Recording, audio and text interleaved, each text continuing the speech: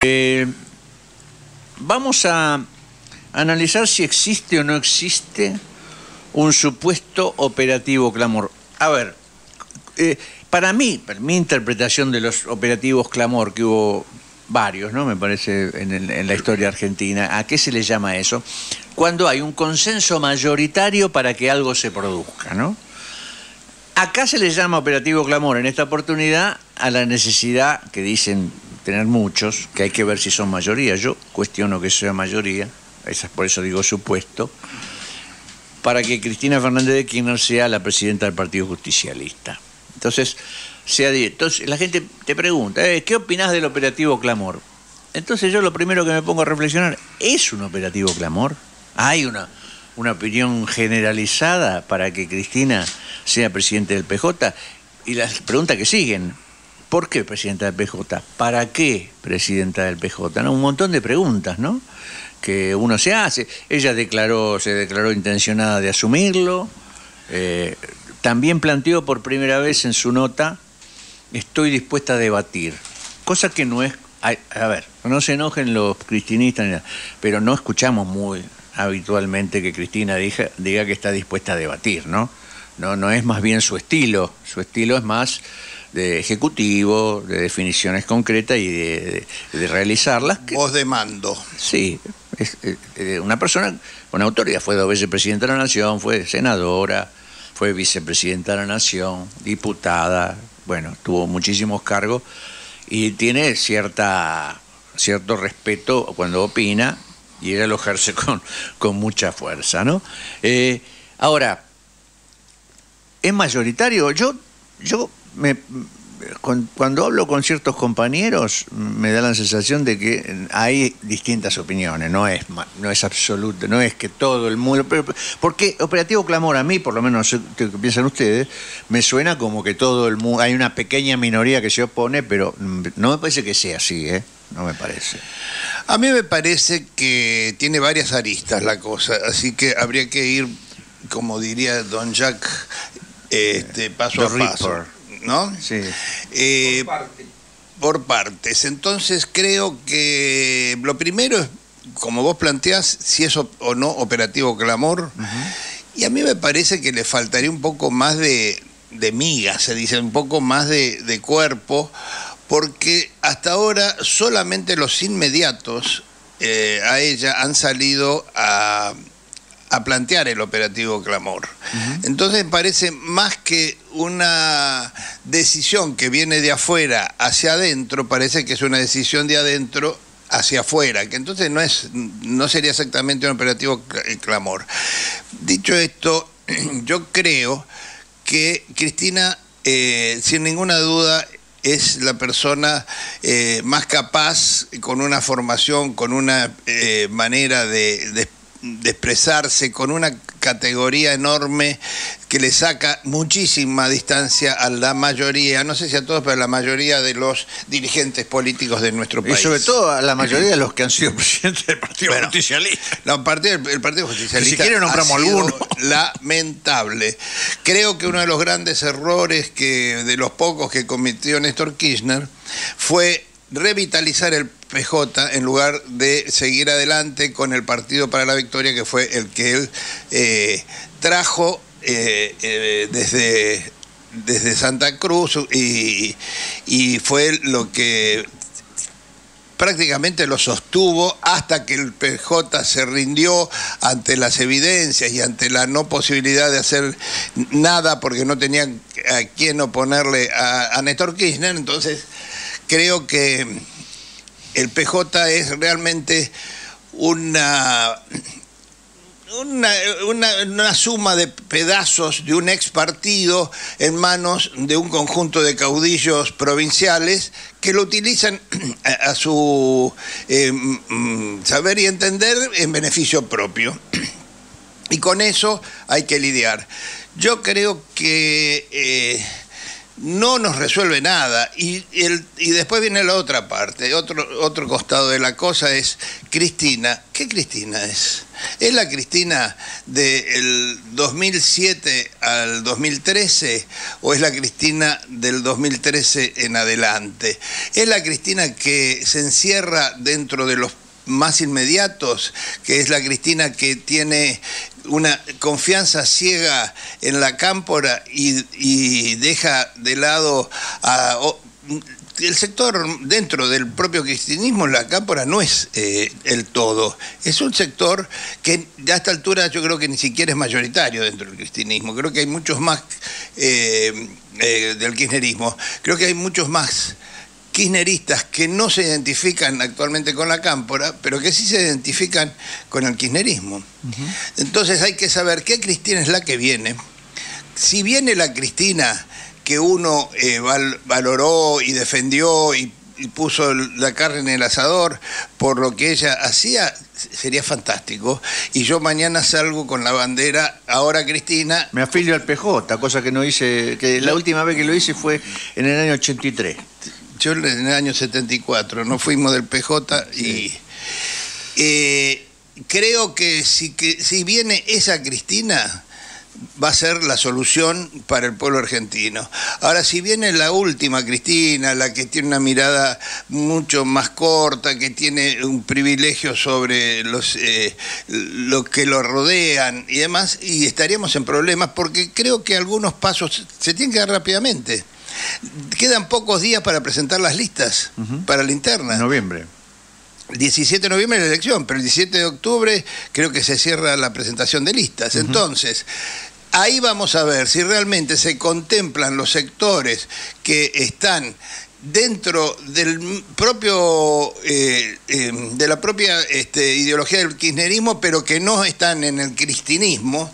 Y entonces veremos si, si están representados en esa lista de unidad que supuestamente quiere hacer Cristina eh, los Grabo este, los compañeros de la CTA los compañeros de los movimientos sociales eh, el gobernador de La Rioja este, algunos intendentes que han si si, ella conforma una lista de unidad de verdad con todos los sectores y demás, eso es una cosa. Ahora, si ella sigue eh, este recorrido encapsulado que viene haciendo desde hace un tiempo, y me parece que no le va a quedar más remedio a esos otros sectores que yo digo que deberían estar, que presentarse por su cuenta y tratar de tener una alternativa que después habrá que unir, sumar y demás, pero hay que mostrar un poco los dientes en algún momento para que no sea más de lo mismo.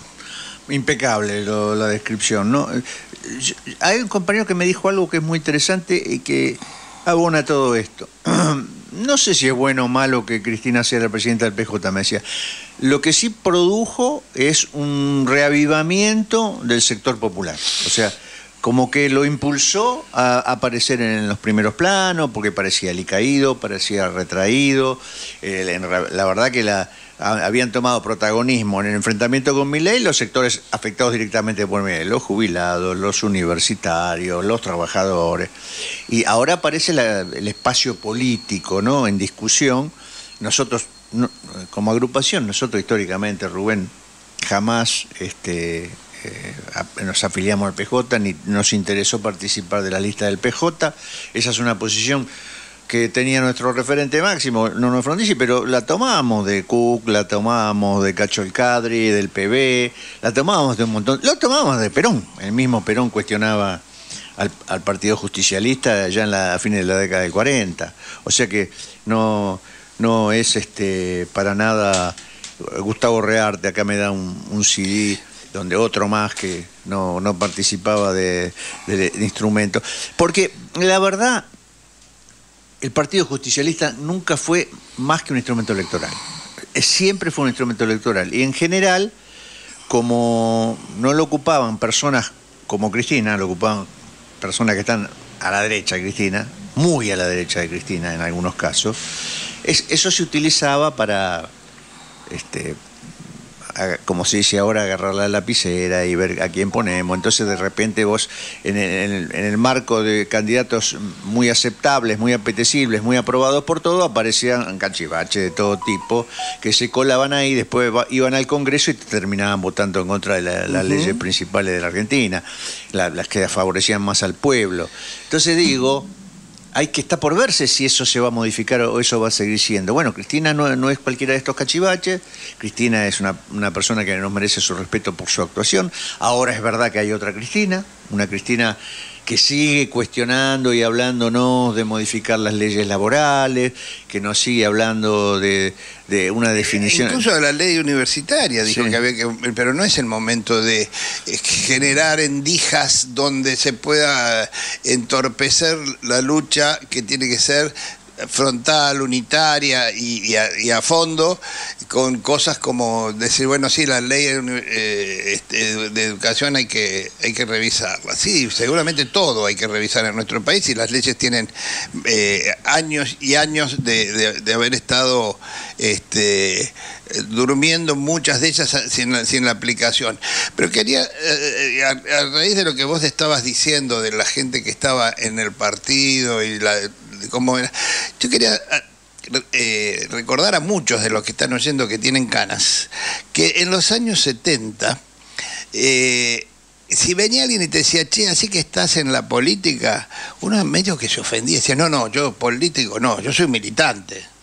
Porque la política era para esa burocracia política, además de la burocracia sindical, por supuesto, pero la burocracia política que tenía el PJ, que generalmente eran los tipos más impresentables que habían y que jamás en su vida habían hecho absolutamente nada por el retorno de Perón o por el, enfrentamiento con, con la habían impedido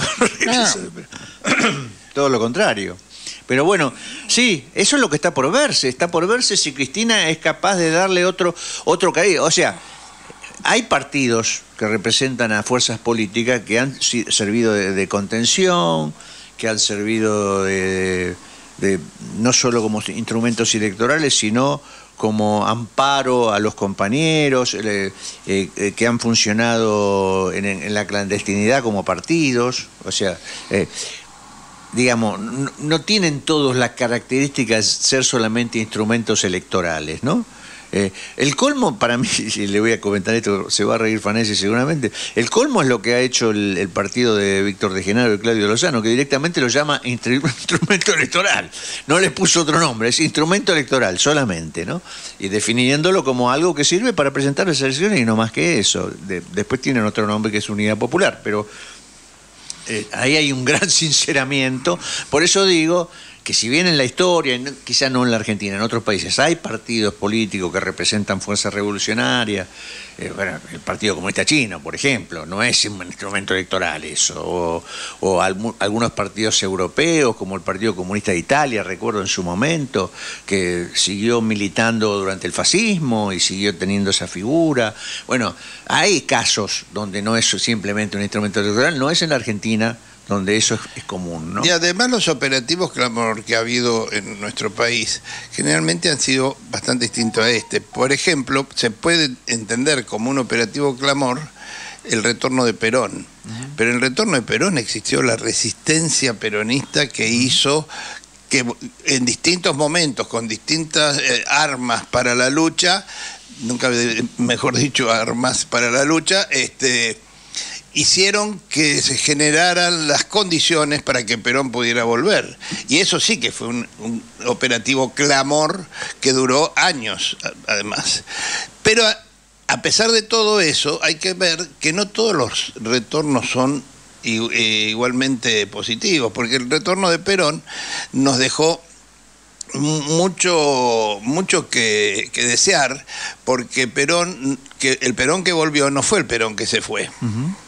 Cuando Perón vuelve y se pone a. Primero rompe con la juventud, más allá de los este, intentos este, inestimables que hizo la juventud para romper con Perón, pero Perón rompe con la juventud inmediatamente, prácticamente en Ezeiza, cuando el 20 de junio elige la derecha peronista para que lo represente en, eh, todo el armado de, del gobierno eh, con la, expulsión de Cámpora inclusive, y después empieza a ser una política que no tiene nada que ver con la política que uno había eh, deseado o que esperaba del general Perón, como por ejemplo el, nombramiento de, los jefes de policía más reaccionarios, más gorilas y más criminales, las, las, modificaciones de la ley penal, este, qué sé yo, podría... Mm, pero, había, aspectos contradictorios, porque también nacionaliza, nacionaliza la banca y los depósitos, cosa que hoy sería una medida extraordinaria. Por supuesto, porque además que uno en, su momento no estaba eh, tan lúcido y estábamos en contra de Helvar, Helvar hizo, tomó algunas medidas que fueron muy interesantes para la Argentina. Una figura muy importante. Eh, una figura importante que además su propia pertenencia al Partido Comunista hizo que hubiera una relación muy favorable con Cuba que a los cubanos les sirvió muchísimo, aunque haya sido en un espacio de tiempo muy corto. Pero iba a que no todos los retornos son este, igualmente de positivos. Por eso mi, mi duda que expresaba hace un momento es ¿Qué es lo que pretende Cristina? Si lo que hemos visto, las últimas acciones de Cristina, hemos visto que ha colaborado en ese, en ese combate interno que tiene el, este, el propio kirchnerismo en la, provincia de Buenos Aires entre Axel y Máximo,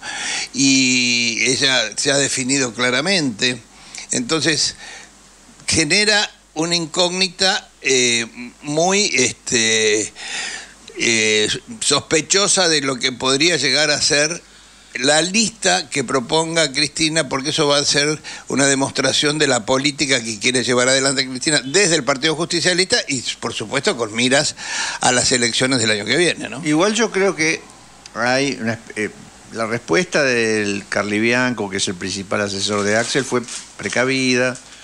La respuesta de Quintela, el gobernador Reja, fue precavida. Quintela no, desiste de, su intención de ser también presidente del PJ, que se alegraba de, poder debatir con Cristina. Bueno, hay que ver, no está cerrado esto, pero si nos guiamos por los antecedentes históricos, eh, el Partido Justicialista eh, fue más un obstáculo que una ventaja para el movimiento nacional, ¿no? Pero está abierto todo. ¿eh? Sí, hay que ver si la lista de Cristina tiene como vicepresidentes, eh, eh, qué sé yo, Axel Kisilov y Quintela y, algo por el estilo, o tiene Aguado de Pedro, Fernández Agasti y compañía. Entonces, sí, sí, sí, sí, sí. Ahí, este. ahí, ahí hay una clave de qué es lo que puede llegar a pasar, ¿no?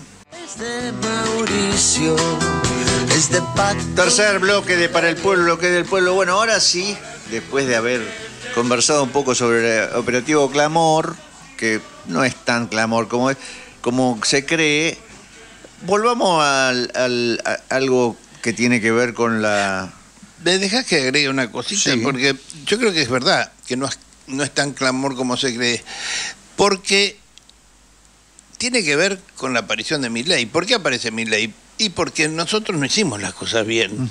Entonces, para poder tener un operativo clamor real y que haya un apoyo real y que haya una vuelta a enamorar al electorado de la franja del medio, la famosa, tenemos que mostrar algunas cosas y tenemos que mostrar autocrítica y tenemos que mostrar que también damos lugar a las nuevas caras, a las nuevas generaciones, a las viejas generaciones que han sido tapadas y opacadas por el, por el dedo. Entonces, si no hay un, un avance en ese sentido, a mí me parece que es difícil que haya un operativo clamor eh, sumamente masivo como hace falta, porque el, operativo Clamor para mí tiene distintos objetivos. Uno es ponérselo un poquito más difícil a la justicia cuando tengan que hacer la sentencia sobre Cristina. El otro, eh, que es, bueno, lo genuino de querer este, tomar nuevamente el poder para resolver los padecimientos que tiene nuestro pueblo. Pero también hay otros colaterales, que es rescatar el, cristianismo, eh, poder seguir dándole espacio a Máximo y por el otro lado, bueno, mantener los lugares que hacen que se pueda... Eh, sostener económicamente la política que se hace desde ese lugar. Yo le agregaría algo a eso. Bueno, en realidad Cristina en su última carta dice que el, recambio generacional está. Es, para ella es la cámpora, el recambio generacional, ¿no? Es, controvertido, habría que verlo. Pero justamente de la cámpora quería hablar. Como yo estoy en espacios del Ateneo, escucho lo que dicen los referentes de la cámpora, hay una actitud poco de, de, poco debate y poco participativa, inclusive poco crítica de sí mismo. No, no, pero inclusive hasta que salió Cristina con su, su carta y su propuesta de debate y participación, ellos iban a pintar Cristina o nada. O sea, eh, si hay algo que cierra cualquier debate es que me plantees Cristina o nada. Entonces, digamos, eh, pongámonos, como diría un, humorista famoso, querido Alberto Olmedo, bueno, pongámonos de acuerdo, si la vamos a hacer, hagámosla bien, ¿no? Yo te diría que eh, a eso hay que contestarle con una pregunta. Cristina o nada, ¿con quién y para qué? Claro, claro. Ese es el debate. Yo creo que el debate, más, más que si Cristina es presidenta del PJ para conformar la lista, es un debate ideológico. Hay un debate que dar ideológico porque Cristina en sus cartas no solo menciona estas cosas de las que hablamos, sino que menciona un modelo de país futuro en el cual, por ejemplo, define reformas en el mundo del trabajo, define de forma en el mundo de la educación, define reformas en la economía sosteniendo una teoría que muchos compañeros del campo nacional y popular refutan, que es que no es solamente un problema de economía bimonetaria el problema, sino que el problema de la economía argentina es multicausal. Tampoco es solo el déficit fiscal, como lo plantean los neoliberales o Milei, tampoco es que sea solamente un problema bimonetario, sino que es un problema muy complejo de monopolios y oligopolios, un problema de distribución del ingreso, son múltiples los problemas que hay, de un núcleo de pobreza que nunca se pudo quebrar, hay un montón de problemas que tiene la Argentina y eso de enfocarse en un solo problema es discutible. Y después todo lo que sea reformas de cualquier tipo, en el marco de un gobierno que ataca a todos esos sectores a los que vos querés reformar, muchos compañeros, creo que Sergio Palazzo ayer salió a decirlo, el principal referente de los trabajadores bancarios, salió a decir, bueno, pero ¿de qué reforma me hablan? Porque en este momento yo la única reforma que escucho es una negativa. ¿Cuál sería la reforma positiva? ¿De qué vamos a hablar? ¿Vamos a reducir la jornada a cuatro horas, a cuatro días en vez de cinco días? ¿Vamos a reducir la jornada en vez de ocho horas a siete horas? ¿O es una reforma negativa? ¿Qué tipo de reforma quiere hacer Cristina? Porque no es, no es el momento adecuado cuando hay una, una un gobierno que avanza sobre estos derechos. ¿no? Me parece que ese es el error y que muchos dirigentes gremiales están cuestionando. Por otro lado, no, no, no va a ser sujeto de, este debate de hoy, pero hay fuertes cuestionamientos a la estructura de la cúpula de la CGT, ¿no? De sectores que están dentro de la misma conducción de la CGT, como el moyanismo, como la corriente federal. Moyano apareció hace uno o dos días diciendo que la CGC se tiene que dejar de, joder y ponerse al frente de todas estas protestas y tiene la expectativa de que haya un paro en un término eh, perentorio. Eh, lo que sí es increíble como eh, la ausencia del sindicato de uno de los eh, secretarios generales de la CGT en el conflicto de los hospitales, tanto del Garjan como del Bonaparte. Porque es el, secretario general del, gremio, de salud. Del gremio de salud. Y ese señor está, eh, como dicen en algunos, está tomando el whisky que le quedó desde cuando se visitaban con Mauricio Macri, ¿no? Mm, exactamente. Bueno. El 30 de octubre, hoy dijo Moyano que van a hacer un paro del transporte. De esa reunión, Fernández de Lauta no participó. Fernández de Lauta dijo que es mileísta y que va a apoyar a Milei. Y no participó, aunque aparentemente estaba invitado y estaba en alguna medida de acuerdo, pero esa es la realidad. Sin embargo, la CAT decreta un paro de transporte. Para el 30, 30 de este mes. Está bien, está bien. Hay que ver qué controla Fernández. Fernández antes se convirtió, se convirtió en mileísta ahora porque antes era macrista, hay que aclararlo, ¿no? Ahora se convirtió en mileísta. Pero aparte, es un poco vergonzoso que un dirigente de un gremio eh, diga que no va a apoyar el paro porque él es mileísta. Pero él es mileísta, pero sus trabajadores, ¿qué son? Porque eso me parece que es lo que importa, ¿no? Eh, sus bases a, qué apuntan o a dónde, a dónde están pensando, ¿no?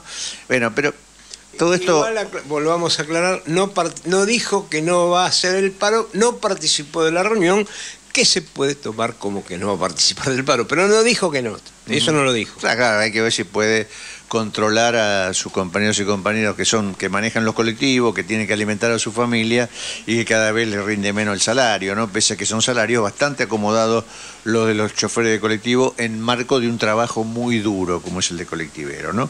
Eh, Igual tienen una interna ahí nefasta, unos peor que el otro, Urtubuy, que es el otro dirigente que perdió la elección con él, en el paro que se decretó general, en el último paro general, este, Urtubuy, que es un, prácticamente un asociado de la DOTA, este, no, no participó de ese paro y los, los eh, colectivos de la DOTA eh, estuvieron andando durante el paro general. Digamos que la DOTA es, es una empresa que concentra la mayoría de, la, de no, no, sé si la mayoría, pero tiene un porcentaje muy alto.